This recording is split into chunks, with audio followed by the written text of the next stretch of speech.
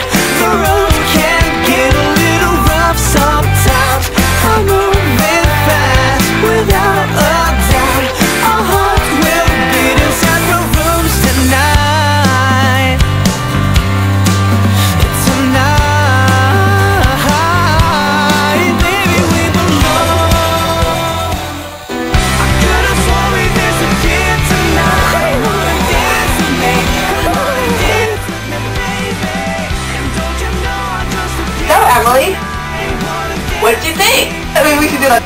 No, you're A.